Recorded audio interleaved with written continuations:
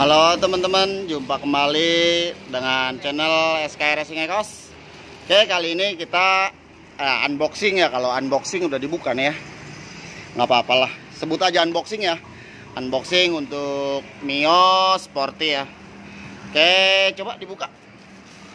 Oke, nah lehernya seperti ini. Leher apa nih? Blau ya, lehernya blau nih. Apa tuoton katanya, apa tutung. Oke, kita pasang di unitnya dan ini silinsernya ya atau tabungnya belakang. Nah, di sini nih kelebihannya nih menggunakan bahan stainless ya. Bukan kaleng-kaleng, bukan rekayasa, kami ada kami nyata. Oke. Seperti ini teman-teman. Nah, sebelum video saya lanjut dibantu disubrek dulu ya. Dilike dan disarek biar apa yang kami suguhkan bisa bermanfaat. Semoga maksudnya semoga bermanfaat.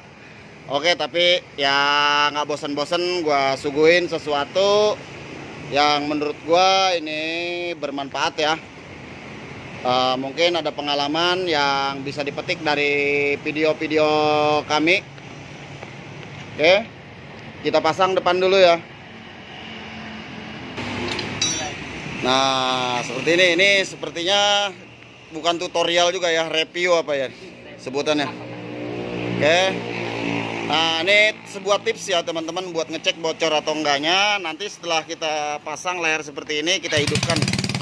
Nah, hidupin seperti ini. Nah, ini menandakan si leher ini tidak bocor ya. Oke. Menandakan tidak bocor. Nah, sekarang kita bongkar uh, silencernya tabung gas eh disaksikan. Nah nih bahan nih. Udah hitam ya. Bahan seamless. Uh, bahan juga bagus nih tebal. Oke slip on sistemnya jadi tidak susah juga waktu pemasangan. PNP oke seperti ini pemasangannya tinggal dorong aja.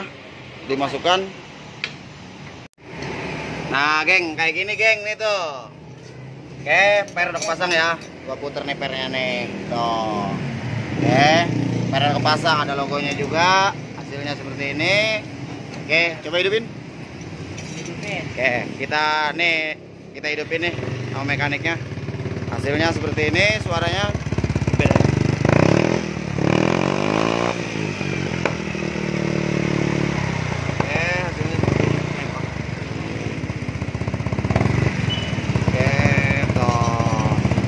Brewo, gimana Brewo? Hah? Mantap gak Brewo? Mantap. Mantap. Lu pernah- kalau pasang ginian gimana? Gak pernah ada gagal. Gak pernah ada gagal? Pas PNP semua? Main. Wah tuh teman-teman tutorialnya ya. Nah, seperti ini.